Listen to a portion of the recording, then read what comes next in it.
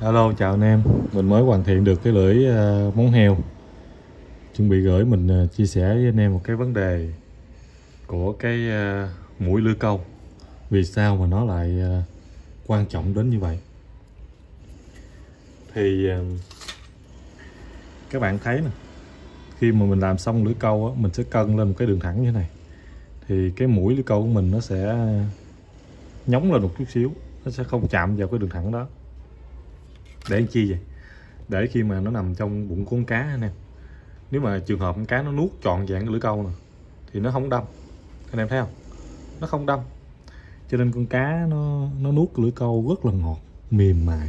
Nó chỉ cảm nhận được cái ờ, con nhái thôi. Vậy mà nuốt rất là sâu. Nuốt rất là sâu. Và khi anh em giật á, thì đương nhiên là khó thế nào xảy được vì nó nuốt sâu mà. Giật là dính ngay. 10 phát 10 con nếu mà cái mũi này nó thẳng, nếu mà nó thẳng thì nó sẽ nằm ở đây cái này.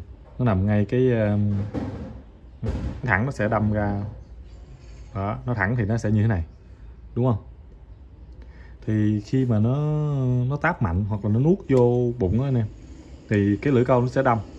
Mình chưa giật nha, lưu ý là mình chưa giật, nhưng mà lưỡi câu nó đã đâm vào thịt cá rồi và nói nó đau, nó giật mình, nó nhả hoặc là nó nhảy. Và um, sảy cá nha em. Đó. cho nên em thấy cái ờ, cái độ cong của mình đó, nó cong đều như cái vòng cung luôn em thấy không? Đó. rất chuẩn rồi rất đẹp.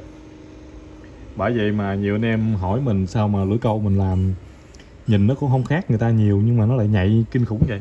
Thì đó là lý do. Đó.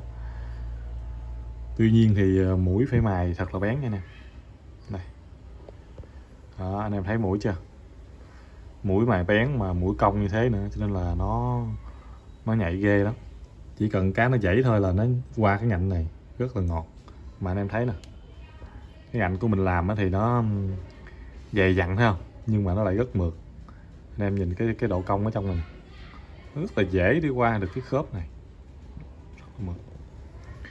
Ok, anh em có ờ, nhận xét ý kiến như nào thì ờ, chia sẻ kinh nghiệm thêm với mình cho mình biết chứ nha rồi cảm ơn anh em nhiều.